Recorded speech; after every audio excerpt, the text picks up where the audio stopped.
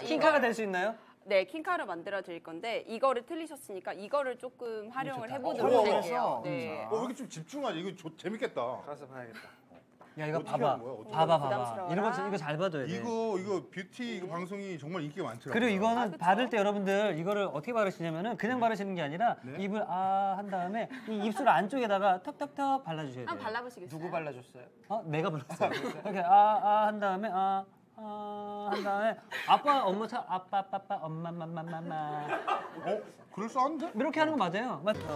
자, 이 틴트 바르는 건 여러분들 어렵지 않습니다. 틴트를 이렇게 해가지고 자 이거 이렇게 묻어 있죠. 네네. 이거를 막 입술에다 막 덕지덕지 발라요. 그럼 덕덕지 이렇게 되는 거예요. 그렇기 때문에 입술 안쪽 있어요. 안쪽에다가 이렇게 발라요. 안쪽에다가. 안쪽에 착착한 다음에 네, 여러분 잘 보셔야 돼요. 가족의 엄마 아빠를 불러주시면 돼요. 엄마맘맘 어머니, 아버지. 엄마맘맘 어머니, 아버지. 아니 아니